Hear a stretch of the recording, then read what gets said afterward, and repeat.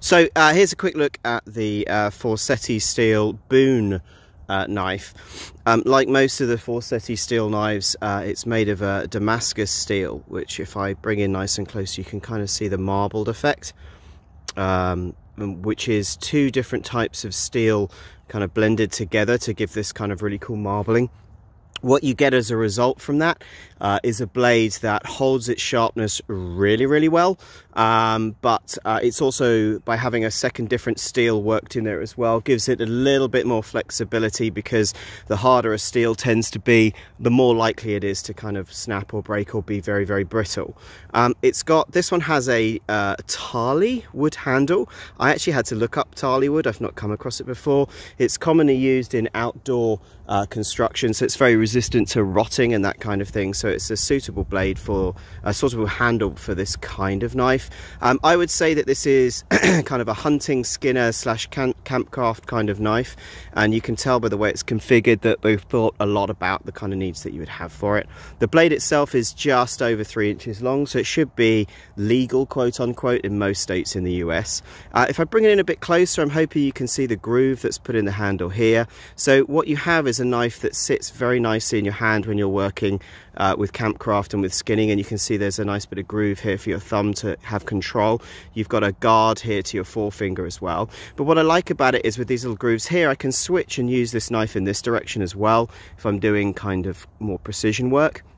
They've also put further uh, grips right up here on the tip of the blade so again you can use it for a lot more precision work as well. Uh, is this a dagger? Absolutely not. Uh, can you fight off zombies with it? Absolutely not. Um, but what this is is a really really nice campcraft knife. Um, the tang that runs through the middle of the blade you can see here is surprisingly thick as is the blade itself. I believe from memory it's about three millimeters. So this is a properly sturdy blade.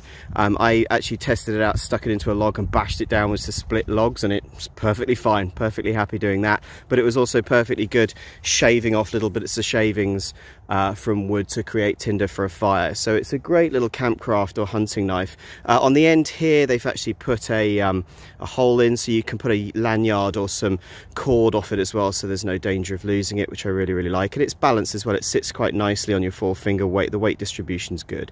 So it's a really nice workhorse of a knife, but actually it's also very pretty, which is quite common with a lot of the Forseti steel knives. They're kind of nice to look at. They're beautifully well made. They're handmade as well, and it shows. Um, they're made in small batches. Um, so my word of advice is if you like the look of these knives, I wouldn't mess around uh, and decide whether to buy one or not because I certainly reviewed one knife in the past. I think it was the Lightoller knife was it the Lightoller or was it the Hemingway? It was the Hemingway. I reviewed the Hemingway knife, which was another really nice folding knife they did, and it's now sold out. So um, the Forseti steel knives have a tendency to sell out quite quickly because they're um, uh, because they're small batch. Uh, it also comes with this really nice little sheath. Uh, the leather sheath as well is a horizontal one, so you can mount this blade horizontally either behind you on your belt or in front of you. A lot of people have sort of said they don't like that, but I'm actually quite a big fan of horizontal uh, sheaths because uh, when you sit down, stand up, the knife never really gets in the way. Um, so you can simply reach behind you uh, to pull a knife out or even leave it on the front of your belt uh, or just off to the side of the front of the belt. So I'm actually quite a fan of, of this kind of knife being mounted that way. Uh, it also comes with a nice uh, presentation box, the usual kind of stuff, and a lifetime guarantee, which is superb. Um, but there you go, that's kind of a super quick look. So uh, yeah, named after Daniel Boone, famous uh, US adventurer uh, and kind of wilderness slash outdoorsy person. Um, and uh, this is the Boone knife uh, by Forseti Steel. Uh, if you like what you see, please subscribe. It really helps my channel and that kind of stuff. And I'll put a link to my full written uh, review uh, in the comments. So uh, yeah, there you go. Thanks very much.